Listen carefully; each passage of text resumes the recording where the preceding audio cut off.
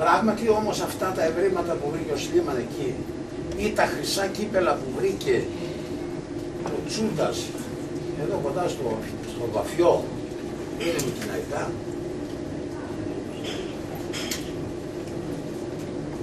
Εγώ λέω όχι. Γιατί;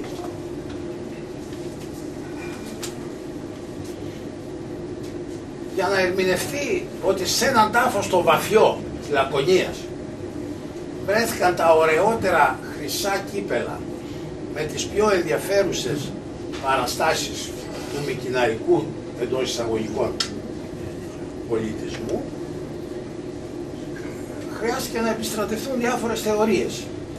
Δηλαδή αυτός ο τάφος είναι ένας θόλος, αθωρωτός τάφος, ήταν κλεμμένος, επειδή τα κτερίσματα, λοιπόν αυτός ο τάφος είχε ένα κύκλο και στο πάθος είχε ένα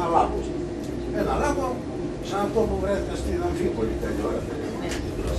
Λοιπόν, και... αλλά αυτός δεν είχε σκελετό μέσα. Ενώ αυτός στην Αμφίπολη λέει ότι είχε σκελετό, έτσι. Ε; Αλλά δεν είχε σκελετό λοιπόν. Παρ' όλα αυτά επέμενε ο Τσούντας ότι έτσι που είναι βαλμένα λέει τα πράγματα, εδώ ένα χρυσό κύπελο, εδώ άλλο ένα χρυσό ξύφος, ασημένιο, εκείνο, τ' άλλο και πολλές χάντρες εδώ στην περιοχή του στήθου.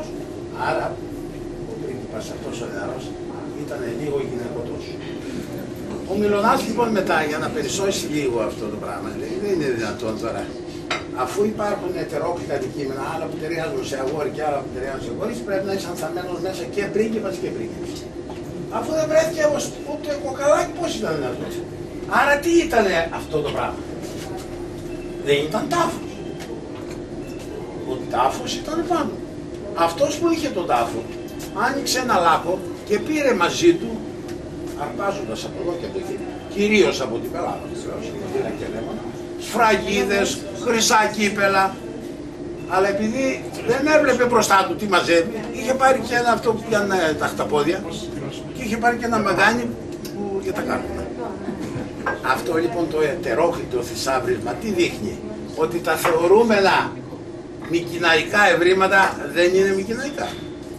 Είναι αρπαγμένα από τους τάφους εκείνων που δημιούργησαν το χιλιόχρονο πολιτισμό της κρόνιας πολιτείας.